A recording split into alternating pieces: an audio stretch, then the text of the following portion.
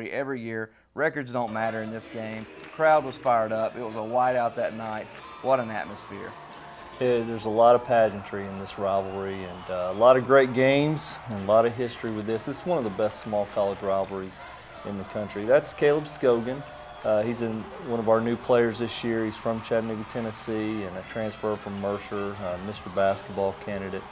Uh, you know, we're fortunate to have him. There's big Nate Manoy, uh, who's a transfer from uh, Purdue University, and um, you know, he's been a big inside addition for our club so far. And, and uh, you know, we've got we've got several new guys that we've we've tried to work into the into the mix this year, and uh, you know it's been a little slower than I than I would have thought at times, but um, you know I think we're getting better as the season goes along. There's Big Harold Griffin, uh, back for his third year as a Flame, senior this year, and and uh, has had a good career and, and, having a good year so far. And, and of course, uh, Elmar Kulizade there with the drive and the miss. And you know, one of our strengths this year is our rebounding. Uh, we're one of the top rebounding teams in the country, and it's really kind of our identity.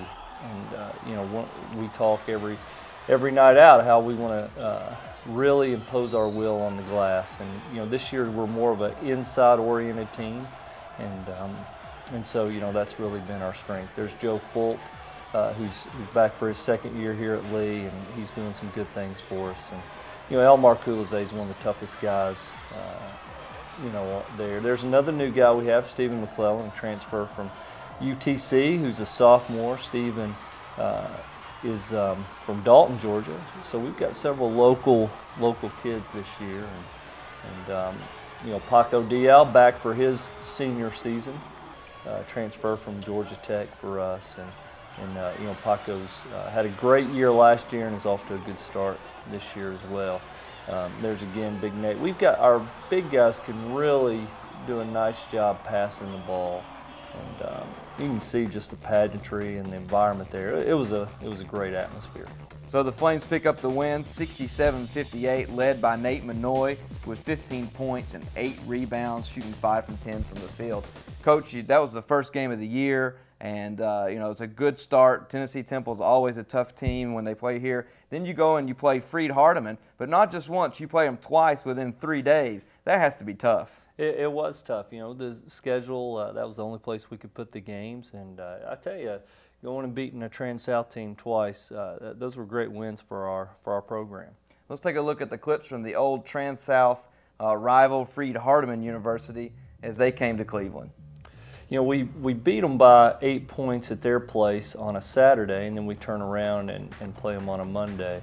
So, uh, you know, I felt like they probably had a little bit of an advantage mentally over us. Uh, but you know, I thought our guys played hard, and it was almost like an NBA uh, playoff series in a sense, where you you know you had to make adjustments from from one game to the next, and um, you know they did a nice job changing some things up the way they they guarded us defensively.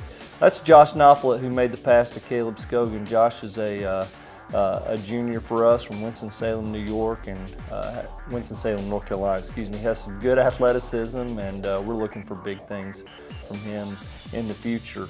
Um, you know, again, we're an inside-oriented team, and, and one of the keys for us is, is really pounding the ball inside and, and, and, and taking care of the basketball, too. You know, we uh, like our women's team, we've had problem with, problems with turnovers, and one of the keys to us is is if we take care of the ball, we feel like we can play with anybody, and, and we've really got to do a better job of that this year. Uh, you know, this year's team again is not quite as fast as last year's team, but I think we're a better offensive rebounding team, as you can see right there, and, and that's what we really want to do is try to uh, beat teams on the glass and, and get half of our missed shots. And you can see Nate, this was one of Nate's better games. Uh, you know, he's very active, and, and Caleb Scogan's very good off the drive too. He's one of the faster guys in the country, and, and uh, you know we're expecting big things uh, from him over the next couple years. How big is it for having Elmar Kulizade and uh, Caleb Scogan outside to open up the, the things for the big guys? Well, you know, I, I, think you know Caleb's been hurt, and that's really hurt us over the last few, um, you know, for a few weeks, and we need him back. Well, Freed just wouldn't go away in this game. Went to overtime. That was a huge shot that they hit. And, uh, you know, I was really proud of our guys for figuring out a way to win this game. We hit some big shots. And, boy, Elmar Kulizade here in a second hits a huge one uh, to really win the game for us. And uh, you know, Freed just wouldn't go away. And you know, they've had some good wins in the Trans South already. And you know, they're a good basketball team. But, you know, could be a national tournament team. Still, uh, you know, that'll be uh, determine here later. But uh, you know, they just it was a tough fought game, and there's a huge shot. You know, we're down two, and Elmar comes and pulls up the big three. And, and then, you know, last possession here to, to seal the game. Great basketball game. I think Elmar has ice cold water in his veins. He's just, he just knocks them down the big shots all the time. The Flames win 74-71 in overtime, led by Nate Manoy with 23 points and 12 rebounds. Elmar Kulizade with 20 points, 5 rebounds with that big three in overtime to really give the Flames the win. Coach, it's been a good season so far, good start. You've played a really good schedule. Uh, went out to Oregon and played the number one D2 team, played the number one team in the NAIA D1, Mountain State here at home, and uh, it just gets tougher as you go into conference play. I tell you, our conference is really balanced this year, and um, you know you can uh, anybody can beat anybody. So there's a lot of tough games ahead of us, and you know we've put ourselves in a position early on to uh, to make a run at it. And uh, you know, uh, tough week this week at Berry and playing Shorter at home, two of the better teams in our league, and both well coached. And, and so uh, you know it's it's a marathon. It's not a sprint, and uh, should be a fun ride. Yeah, it's how you finish, not where you start. So, coach, Absolutely. you started well, and let's hope that the Flames finish well. next week we'll talk about that Berry and Shorter game.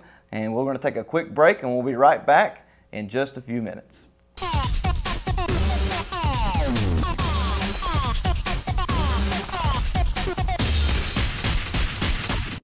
At Skyridge Medical Center, we believe every moment is important. That's why, whatever you encounter on the road of life, Skyridge Medical Center will be there for you and your family. You can count on our experienced, dedicated staff to provide quality health care and the advanced medical technology you need so you don't miss one special moment. Skyridge Medical Center, your hospital for a lifetime. He never did tell me we might be alone. How did she always make it look so easy? Sometimes you just need someone to talk to. We offer support groups to help with grieving or just talking and sharing. These support groups are another of our commitments to you. At Jim Rush Funeral Homes, we believe life is worth remembering with compassion and respect. We will continue this tradition that has set us apart for so many years. Jim Rush Funeral Homes, it's all about life. North Ocoee and Wildwood Chapels. Bain's Business Machines has been the number one distributor for quality office products in the Tennessee Valley since 1976. We have copiers, color copiers, cash registers, calculators, printers, faxes, and Lathem time clocks. We also feature a full line of office furniture with desks, module panels, workstations, chairs, file cabinets, and much more. Come check out our new showroom at 770 Stewart Road with an even wider range of office equipment to help your business grow. Bain's Business Machines. Thanks for joining us this week. Next week, we're going to talk to Coach Henry Moyo of the men's soccer team as they won an SAC championship. We're also going to take a look at games at, at Berry and versus Shorter here at Walker Arena for the Lady Flames and Flames. We'll also take a look to that LA trip that the women's basketball team made earlier this year. For Coach Tommy Brown and Marty Rowe, I'm Jeff Salyer filling in for Randy Smith. So long, everybody.